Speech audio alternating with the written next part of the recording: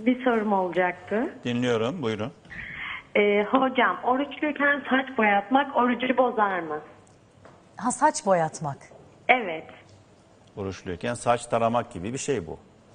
Ee, Yani. boyanın deriye nüfuz etmesinden kaynaklı belki bir hassasiyet düşünmüştür. Çünkü deriye sürüyoruz. Sür, ne olacak deriye? şey sür. olmuyor. Deriye de yüzünü yıkayınca nasıl oruç Ha, bozulmuyor? Doğru. Yine tensel bir temas var ama Krem geçirgenlik var ama. sürebilirsiniz. Yaraya krem sürebilirsiniz. Vücudunuza krem sürebilirsiniz.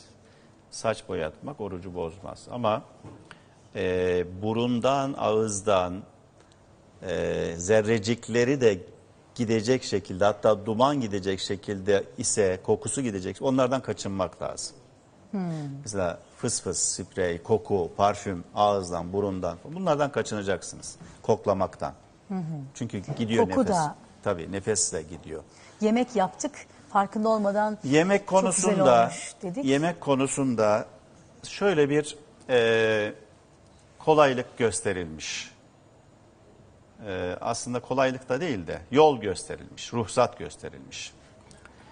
E, 500 kişiye, 1000 kişiye yemek hazırlıyor. Kendisi için değil de. E, o insan ya bu yemek yenilmiyor, tuzundan geçilmiyor ya da tuzsuz olmuş. Ustam sen buna hiç tuz katmadın mı vesaire. Korkuyor bunlardan. O insanın ya da demişler ki aksi bir kocası var kadın.